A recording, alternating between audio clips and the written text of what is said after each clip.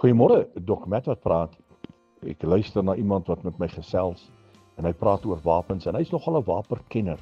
En dan praat hy van 'n 308 en 'n 3006 en al die verskillende kalibers noem hy vir my en hy vertel uh, van 'n 45 kaliber pistool, wat sal skiet en waar hy daar waar hy penetreer is dit so groot soos 'n appelkoos maar aan die agterkant is daar groot skade en hy ken sy wapens en ek besef ons as kind van God het ook 'n wapen, die woord van God.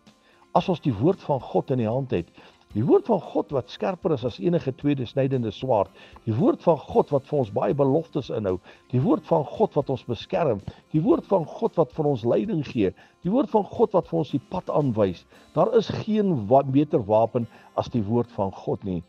As jy antwoord soek, vat jou wapen, die woord van God, want in die woord gaan jy die antwoorde kry.